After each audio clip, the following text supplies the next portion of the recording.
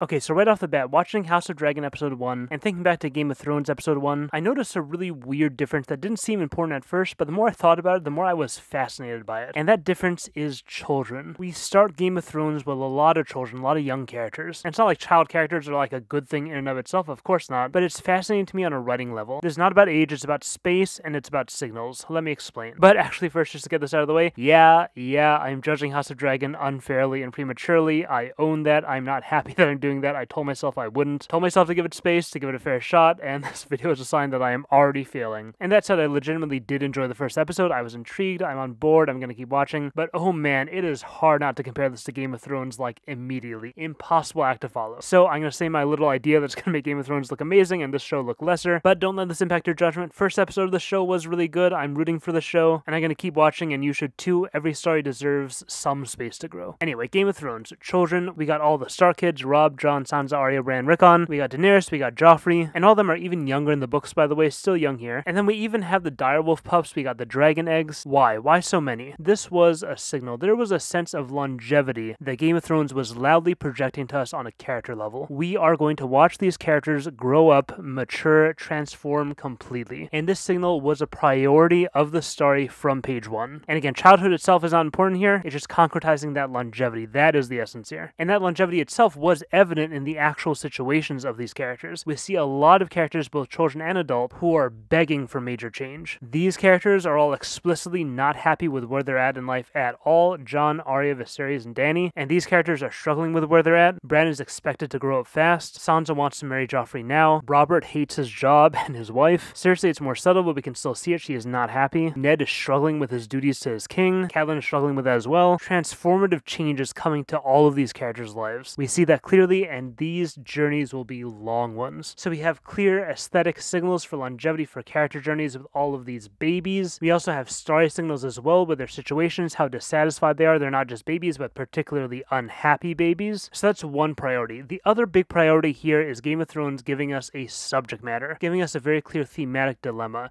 In episode one, we see honor, we see apathy, we see cruelty. So along with these signals of change, we get the sources of depth the show will draw from in those changes. The interplay between the honorable and the cruel with people like Robert thrown in the mix, apathetic, indulgent, lazy, bitter, and we eventually realize this is better identified as weakness. In episode 1, it feels more like apathy, but whatever you call it, that is our trifecta honor, cruelty, and weakness or apathy. And we get richness between characters on different ends of this triangle, and then we get characters like Tyrion who we can't quite place yet. He seems apathetic and indulgent on the one hand, but he's also smart and mature and maybe honorable, but also he's related to all the cruel characters. Seems like a character who will move back and forth on these axes. Lots of potential here, lots of complexity, different kind of journey for this character, but still a very long one being forecasted to us. Now, along the way, we also get the short-term stuff, season one setup, the plot and character dilemmas. We got the Dothraki business, we got the Jon Arryn mystery, and finally the incest stuff, which dominates season one and beyond. House of the Dragon prioritized a lot of similar plot and character dilemmas. We have Viserys and Daemon, we have Viserys and Rhaenys. By the end, we get Rhaenyra and Daemon. Then there's going to be this thing between Alicent Hightower's dad, making her court the king, and that's going to drive a wedge in this relationship, both personally, probably romantically, but also politically now. We also got the random jouster dude and Daemon. So basically, we get Daemon versus everyone, basically, except Robot Prostitute. So that is the priority of House of Dragon in its first episode, this web of character and plot dilemmas. And these were compelling to me. But where's the depth to draw from in this show? I didn't see that deeper framework. I didn't see a dilemma like honor, cruelty, weakness. And where's the signals of longevity? Where's the signals for series long growth? Not the priority here. And I'm not saying it's not there, not saying we won't see it next week or the following week, but Rhaenyra is to be queen. We're being forecasted that journey, and to me, she already seems kind of halfway there. She seems pretty queenly already, and I'm sure she has a long way to go, but she's no Robert, she's no Joffrey, she's no Tommen. She's really confident, she's smart, she's fairly accepting of her new role as far as we can see in the end. And granted, chances are she's not ready and she's to be in over her head, etc. But we're not going to see this character go from having nothing to becoming breaker of chains. We're not going to see her go from meek scaredy cat to mother of dragons. We already got the dragon, she's already good with dragons. So a journey is being forecasted. The space for that journey is not being forecasted. Daemon seems like he's going to go wild, but again, he already seems halfway there. Viserys seems like he's going to be weak and maybe a little mad in his grieving, but he also seems halfway there. And again, again, again, the topic here is what episode 1 prioritizes, not what will actually happen. There could be drastic development they're not signaling early on. My point is that Game of Thrones heavily prioritized that signal, and that was something that really drew me in. House of the Dragon just is not prioritizing that signal. They're prioritizing plot and character dilemmas that will dominate the first seasons. Now, why is this? One reason for that could be that the mother series of this series has already signaled that growth to us. Game of Thrones was beloved for its its character growth. We can already confidently expect that in this new series, no need for signals. And now we get story space that's freed up to prioritize other stuff, that's valid. Or it could be that this is a different type of show, without character transformations as drastic, but still interesting nuanced development, and lots and lots more focus on plot intrigue, on character intrigue, also valid. Okay, now this next part is a little spoilery, but you could figure it out from the trailer too. You can skip to here if you want. But apparently there's going to be a time skip mid-season 10 years. And time skips are complicated. Time skips can be used for transformative change, but again, we usually do see that use with the young characters. We see the world change and the characters change with it. We see potential realized. We see entire personalities developed from seeds planted earlier. But pre-time skip, it is seeds, not full personalities. When characters do have full personalities, I feel like time skips tend to be more about developing plot. Maybe I'm wrong here, but it's like this is how the situation has extended itself. The events that started years ago resulted in this down the line. And that is going to have impact on creating circumstances that demand new things from characters, but it's not going to be transformative personality growth. The characters we saw in episode 1 seem to have fully developed personalities, and that's why I'm predicting a plot focused time skip here, but with one exception. Alicent Hightower is the one character who so far doesn't seem to have come into her own yet. She's also young, and we do see this big plot starting with her. Seems like she's going to become something quite different throughout the season. Everyone else I'm sort of getting similar vibes from. Obviously, barely anything to go on here. We'll have to wait and see. So that longevity thing, that was something I was looking for, didn't see it, but I can understand some of the reasons why I might not have seen it. The thematic thing was something I actually was really hoping for. Political intrigue is enough to carry a story, but what made Game of Thrones great in my opinion was the depth that came from that honor, cruelty, weakness framework. I love that. And the show did a lot of other frameworks like that, exploring those types of things, that type of depth through the political intrigue. That's when Game of Thrones really shines in my opinion. And maybe that stuff will show up next week in House of the Dragon. Maybe it's already there. I'm sure people are already typing comments with different theories about what that framework is. But in Game of Thrones, when that first episode ended, everyone knew exactly what the show was about. Everyone saw honor in Ned, cruelty in Jaime and Viserys, and apathy and weakness in Robert and Dany. Here in this show, I know the plot, I can see interesting characters, but I'm on the lookout for more here. And I'm ready for more, and I'll be watching the rest of the season for more. And just to be clear, I don't want this to be the same show as Game of Thrones, but I am hoping for the same level of depth. So call me out for judging early, I don't mind. These two things didn't like bring the show down for me. Like I said, I still enjoyed the episode. It's a lot more about appreciating how incredible George Martin was with the setup for the original story. Subscribe, I'll be doing more content on the show if I have stuff to say, we'll see. Oh, and by the way, for anyone who watched my Arcane vs. Game of Thrones Madness video, I can't help but notice three of Madness ideas happened to pop up with Viserys. We had the pregnancy thing with the baby dying as our inception point, leading to obsessive model building of a grand city he isolates himself with in his grief. And then we also have a little bit of fire stuff. Coincidence, obviously, but come on, man, wrong Targaryen. anyway, so I have something kind of out there planned, kind of crazy. We'll see if it works, but keep on the lookout for something different for 100k. Shoutouts to the patrons, been helping a lot of folks with their own writing projects on there. Shoutouts this week, especially to Lechtansi. That is a guess at how to pronounce that. Today is a day of failures. Schedule in the next few weeks might be a little on the fritz, but lots of videos coming. So thanks for watching.